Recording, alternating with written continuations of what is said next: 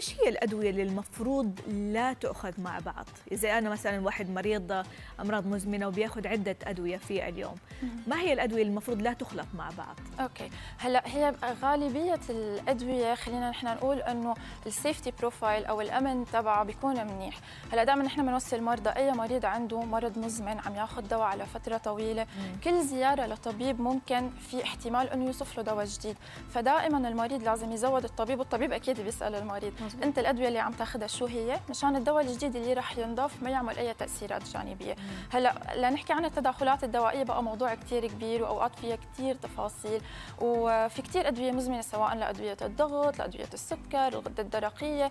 فبمخ يعني غالبية الحالات ما في كثير تداخلات دوائية حتى نحكي بشكل نوعي أو معين. بس دائما برجع بقول لك يعني دائما نصيحة لل... لأي مريض بياخذ دواء دائما تذكر هذا الدواء تذكر الجرعة اللي أنت عم تاخذها ودائما زود طبيبك المعالج بهي المعلومات لحتى يتجنب وصف أي دواء ممكن يتداخل معه أو يعمل ضرر. بالفعل هذه هي النصيحة الذهبية.